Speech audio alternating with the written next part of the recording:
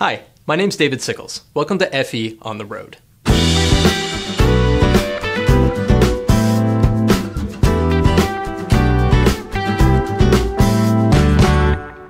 Your truck suspension system is like the skeletal structure of the vehicle, supporting both the handling and the ride quality. It keeps your cargo in good shape while making sure the driver is shielded from bumps on the road. There are two major styles of suspensions for heavy duty trucks out there air ride and leaf spring and knowing the difference between the two can be important based on your application. Air ride suspensions are made up of a system of airlines, air spring bags, and valves. This style of suspension is known for giving the truck a less abrasive ride from when the trailer is empty to about half loaded, helping to reduce maintenance to trailers and improving the comfort of the driver.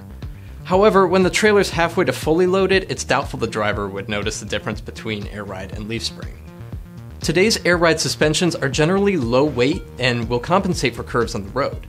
They're great for trucks equipped with expensive components or special body types directly mounted to the chassis.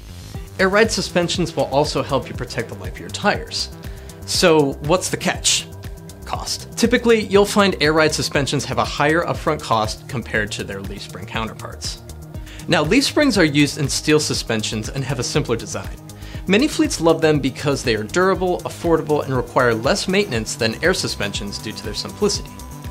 There are certain applications that will probably benefit more from a leaf spring suspension, as there is an industry wide move to a broader use of steer axle monoleaf leaf spring suspensions for lighter weight designs with good ride performance. You'll find these are more common in the dry freight on highway segment. There's a third style of suspension you might hear about too rubber ride suspensions, or sometimes also referred to as walking beam suspensions, which are primarily used in severe duty off road applications, but they're pretty rare otherwise. For more trucking equipment content, head over to feontheroad.com. Thanks for watching.